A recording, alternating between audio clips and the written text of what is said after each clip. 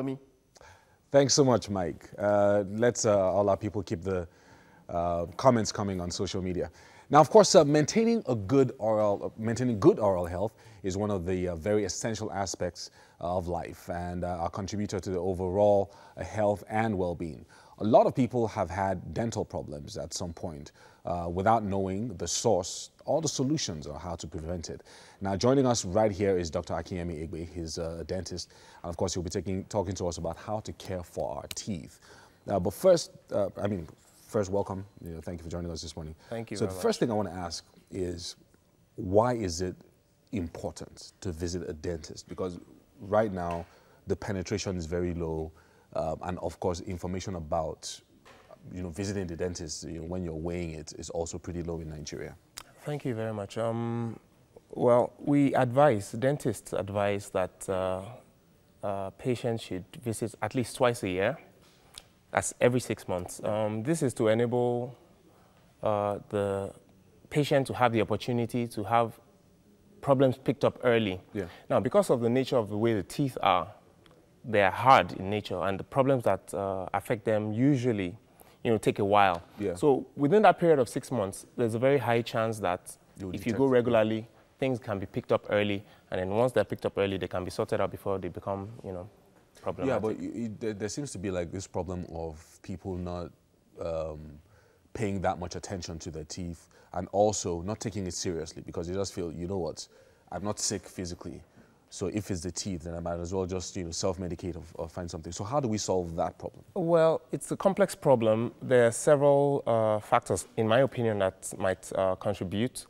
Awareness generally, um, you know, the media, um, and then of course schools can contribute. Yeah. Teaching children right from primary school about oral health and all these things would go a long way, although that might be a long-term thing. Yeah. And um, of course, the, per the person involved uh, personally might, you know, so those are the different factors that could affect it. Yeah. Um, more media awareness, more education in school and everything. Of course, another thing that might affect uh, seeking of dental health is the cost. People assume is- dentistry is pretty yeah. We'll, we'll, quite we'll talk about cost, the cost shortly, but let's focus on the teeth now and uh, some of the things that we hear about a lot. So um, people talk about um, a plaque and, and tartar and cavities and stuff like that, but there, there's never any real definition of these things because we just see that maybe like in a toothpaste advert. We say, oh, cavity protection or, or plaque, it gets rid of plaque and plaque control and stuff like that. But we never really know what, this, what, what these terms really mean and how they affect our teeth. Can you just give us uh, maybe a short, short, you know, uh, Okay. definition of what so these are? um, for the first one, I'll talk about cavities first. Yeah. Uh, cavities is more or less, you know, the layman's term to describe what we call dental caries. Hmm.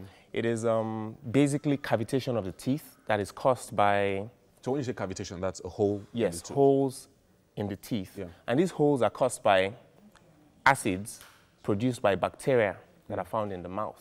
Right. So that's what cavities are dental caries, tooth decay, all the same thing. Hmm. Um, so that's for dental caries. Yeah. Now, tartar is, refers to a deposit that forms on the teeth over time if you know, it's not well cleaned. Right. We call it calculus. So that builds up. That builds over, up. Over time, It- yeah. it- at the start of its build-up, it is soft and can be removed by toothbrushing. Right. But if that is not done, over time it calcifies and then becomes hard and becomes pretty much impossible to remove by your toothbrush. Right. And it's at this point that then you'll need a dentist So to what causes tartar? Things like coffee and smoking and, No. things like that. Coffee smoking is stains. Tartar is caused by um, calcification of debris, Right. dental plaque on the teeth. Wow. Okay, so let's talk about plaque then. now, dental plaque Yeah. is is is um, a biofilm Right. produced in the mouth. It is produced, but it's very very rich in bacteria. Right. Now, it generally just continues to form in the mouth, Hmm. and this is why it's important to brush at least twice daily. Right. Right. This brushing disrupts its uh, formation, and then you know it starts to build up again, and then you have to brush, again. That's okay. it. Okay, so let's move on to um, um, the visit to the dentist because so that you know people also understand. Okay, why? Okay, if I take a visit to the dentist, then you know this can happen and all that. So um, you talked about um, tartar and, and the buildup of um, some of these things over time. So if I pay a visit to the dentist, Yeah. and let's even say it's for small problems like these, Yeah. what is going to happen to me? Okay, so the first thing that I'd expect a dentist to do if you visit is to um, do an initial checkup of what you've come with, what Yeah. you have. Yeah. You know, what's the state of the teeth? How many cavities do you have? You have tartar, you have stains? Document all of that Yeah. and then solve the problems you've come with and then educate you on how to prevent the further problems, in problems, the yeah. future. But basically, I mean, the main thing that you do with the teeth is to ensure that you know you just ensure that they're clean, um, you know, and brush, you know, like twice a day, right? Well, the most important uh, way to prevent dental problems is to keep the mouth clean. You're right. You're right about that. And what we advise is twice daily brushing, Right. twice daily, preferably after meals. Right. Okay. So um, there's also the it's it's becoming um, uh, mouthwash is becoming popular in Nigeria. So anywhere you go, you know, there's people are selling mouthwash. What is um, Our view. your view about mouthwash? Well, um, for mouthwashes, they are an adjunct to oral health. right. They are not supposed to replace the regular toothbrushing that we have. Mm-hmm. As a matter of fact, many dentists might not advise that you use mouthwashes Why? Why? because some of them can cause stains. Um, many of them contain alcohol, you know, Yeah. uh, which can cause dehydration of the soft tissue, soft tissues. I mean, the, the cheeks and yeah, in the mouth. Wow, so as much as possible, the most important thing is to brush twice daily. No, but you do this. I mean, when you see the ads, they you say you just put it in your mouth, and when you gargle with it, 99% of bacteria in your mouth is dead. So it just makes you feel like, you know what, this is a shortcut. Let me just, you know, um, wash my mouth with That this. that is where the mistake is. It, it should be an adjunct. You should use it along with toothbrushing, Right. not as a shortcut to oral health. All right. So let's go to cost now, because one of the things that you talked about was lots of people think going to the dentist is too expensive. These dentists are driving nice SUVs, so it must be from what people are paying.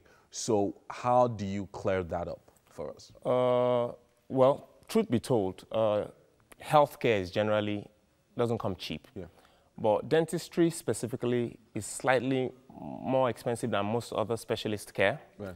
However, I must, I must point out that um, it is within reach of majority of the population. There are several categories of hospitals. We have the government hospitals, we have the uh, general hospitals, we have the teaching hospitals, and then we have the private facilities as well. Right. Of course, the price ranges between these um, institutions vary widely Right. very widely. So it's just to look around. But of course, you can get affordable treatment at most government hospitals. All right. Thanks so much, Doug, for joining us this morning. Thank you so Hopefully, much. um, you'll be uh, giving us updates uh, every once in a while, maybe twice a year, like you said. My on The pleasure. show. Thank you so much for It'll joining my us. pleasure. All right, so uh, hopefully this will be one of your New Year resolutions to visit the dentist at least twice in 2018. It'll be very, very nice. Now, it's going to be interesting.